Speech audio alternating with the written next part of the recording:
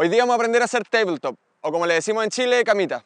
Hace un tiempo hice el video tutorial del whip, que es un truco que practico bastante, me gusta mucho y por ende se me hizo relativamente sencillo. Esto no me pasaba con el tabletop o la camita, en todo el canal deben haber máximo tres de esos trucos.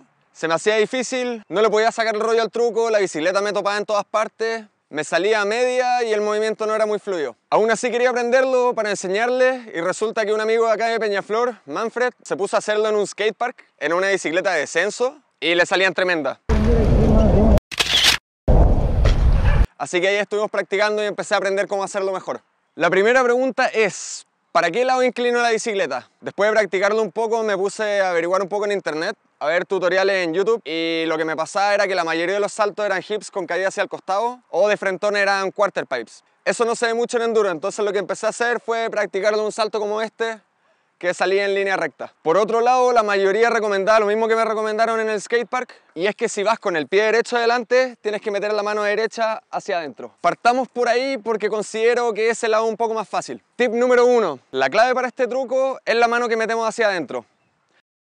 Cuando saltamos tenemos que mantenerla libre, o sea que no podemos estar con la mano puesta en el freno, porque esta mano va a girar alrededor del mango y va a quedar invertida debajo de la manilla de freno. Tip número 2. Si es que saltas, estabilizas la bicicleta y tratas de hacer la camita, las rodillas están a topar con el asiento. Para que esto no pase, vamos a saltar sin estabilizar la bicicleta para que la rueda delantera quede más alta. De esa manera nuestras rodillas van a quedar entre el asiento y la T o potencia. Aquí tenemos más espacio para maniobrar y poder mover la bicicleta hacia un costado. Tip número 3, la bicicleta viene a ti, tú no vas a la bicicleta. Lo más fácil es concentrarse en el manubrio porque con la práctica los pies tienden a seguir el movimiento. La sensación que mejor describe este truco, en mi opinión, es de saltar dejando la rueda delantera arriba. Como les decía, no estabilizamos la bicicleta aún. Y lo que hacemos es traer el brazo derecho hacia el pecho, rotando la muñeca, y el brazo izquierdo lo mantenemos lo más estirado posible. Como les decía en el tutorial de whips, si es que sales volando derecho vas a poder hacer lo que quieras en el aire y aún así va a caer derecho. Eso mismo se aplica también en este truco. Tip 4, parece ridículo pero lo que recomiendo para empezar es que lo practiquen de espalda en el piso con la bicicleta encima. De esta manera van a poder mover la bicicleta, ver dónde les topa, ver dónde topa el asiento, qué tan lejos pueden llegar con el manubrio, cómo se rota la muñeca y van a poder interiorizar mucho mejor el movimiento.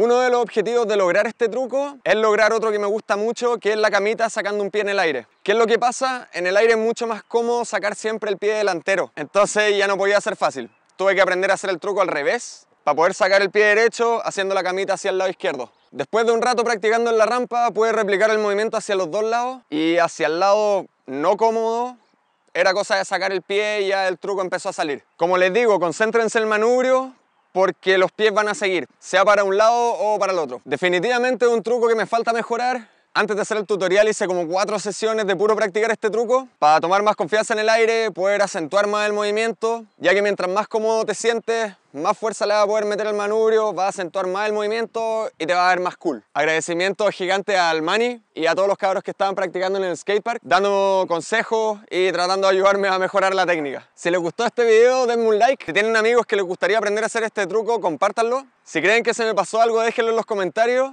y suscríbanse al canal para seguir viendo videos de este estilo. Nos vemos en el cerro.